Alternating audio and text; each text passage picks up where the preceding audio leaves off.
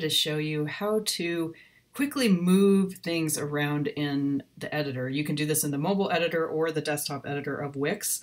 Um, right now I am in the mobile editor, which you can toggle back and forth from up here. And this is in the classic Wix editor.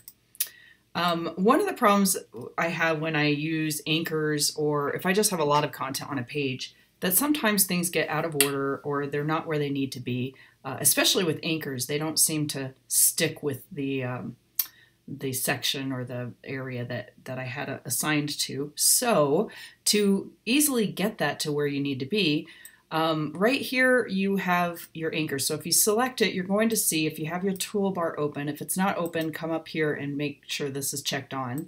Um, and then look at the y coordinates of this.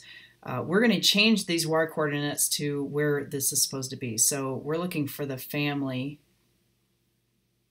Here we go, family of origins. So I want to put that anchor right here.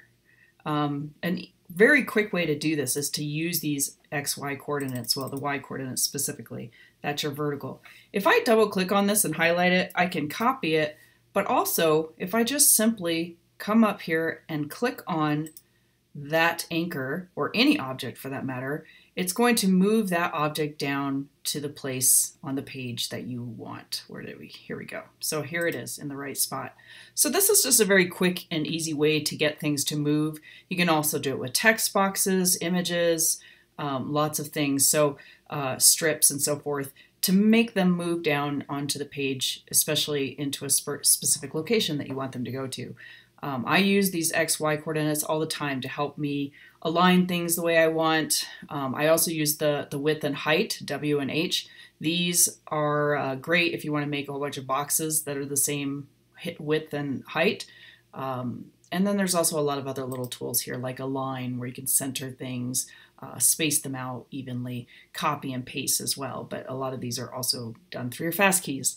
But anyway, that's just a quick tip on how to move things quickly down without having to scroll endlessly and try to find and guess uh, where something is. You can actually get the x or the the y coordinates or the x coordinates, um, but if you're trying to get it down, way down on the page, the y coordinates come in very handy so that you can quickly move an anchor or object to an area of your page in the mobile view.